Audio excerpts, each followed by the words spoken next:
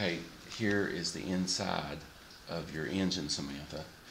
Of course, this is a 300 inline six that's been bored 30 over.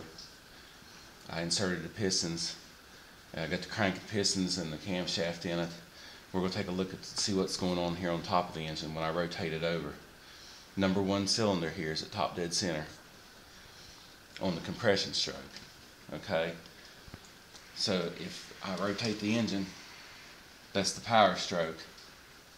Okay, mm-hmm. it ignition fired, explosion, power stroke. When it comes back up, the exhaust valve opens, pushes out the exhaust. Now, on the way back down, the intake valve opens, sucks in more fuel air mixture. Then we're back to the compression stroke. It's compressing all that fuel air mixture up against the bottom of the head. Okay, those are your four strokes of a four stroke engine.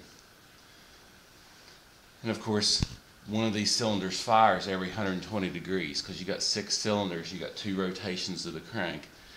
So if you divide that up equally every 120 degrees, it follows your firing order. One of these cylinders fires. Okay? Now, I'm going to flip the engine over. Underneath of the engine, you can see the crank, the main caps, the connecting rods, all the stuff's already been torqued to spec. The camshaft's down in here. You can see these gears here, is, this is what turns your camshaft off the crank, okay?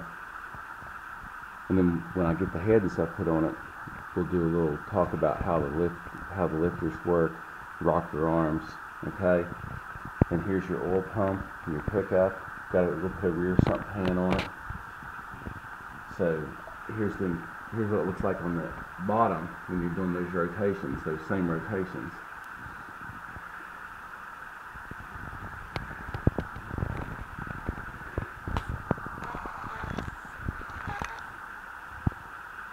See, everything's moving around and around. It's, tra- it's converting the longitudinal force into a rotational force. It goes back to your transmission. That's what turns the transmission. Okay? That's it for today's video.